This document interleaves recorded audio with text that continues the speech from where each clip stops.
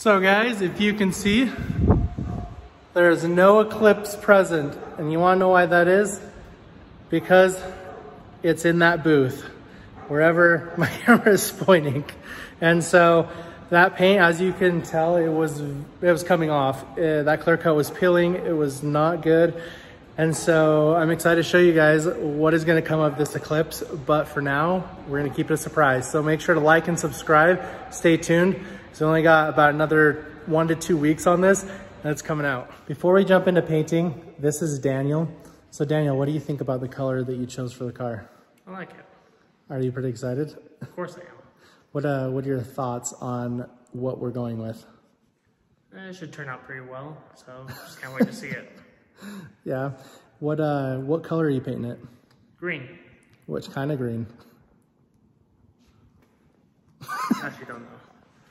He is painting it lime green, and we're gonna make it match the uh, the green from the Fast and Furious. So let's get started.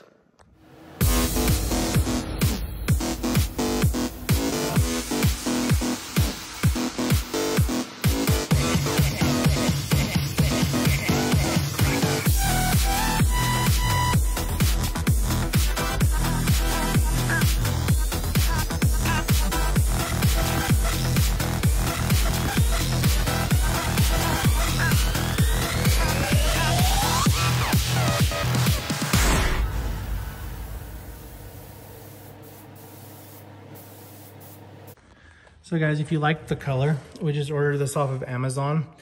It was lime green. It's Kawasaki and the color code is 777. This is a one to one mixing ratio. The reason we went with a medium reducer is because my paint booth is not heated.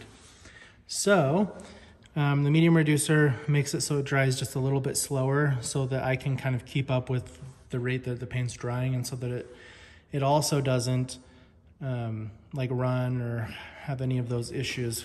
So this is uh, this is the color that we are painting the Eclipse or painted the Eclipse.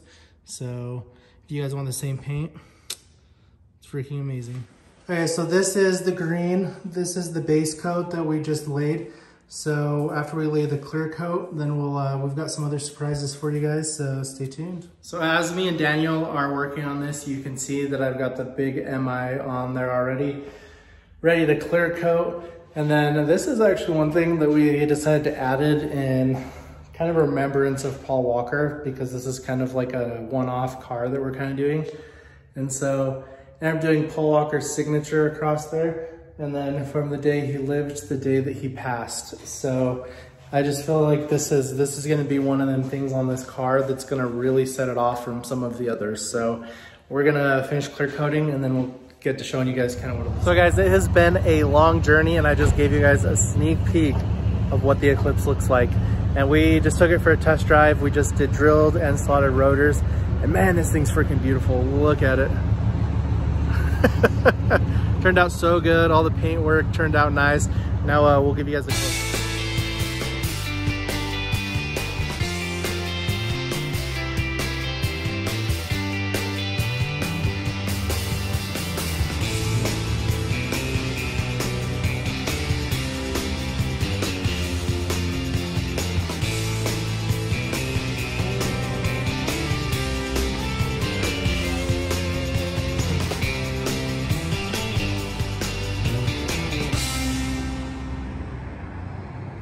So guys, I gave you the sneak peek of what it looks like. We're still waiting for a front bumper and the rear bumper and the wing.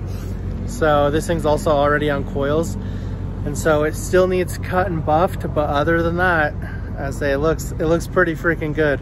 So we have to wait seven days for the clear coat to fully fully cure, and then we can start cutting and buffing. Well guys, go ahead and like and subscribe and stay tuned.